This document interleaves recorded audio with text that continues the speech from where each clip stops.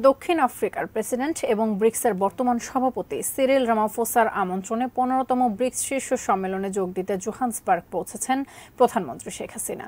বাংলাদেশ সময় রাত আটটা বারোটা পঁয়ত্রিশ মিনিটে জোহান্সবার্গের ও আর ট্যাম্বো আন্তর্জাতিক বিমানবন্দরে পৌঁছন প্রধানমন্ত্রী। বিমানবন্দরের আনুষ্ঠানিকতা শেষে প্রধানমন্ত্রী শেখ হাসিনা তার সফরকালীন আবাসস্থল হোটেল রেডিসন ব্লু স্যান্টটনে যান।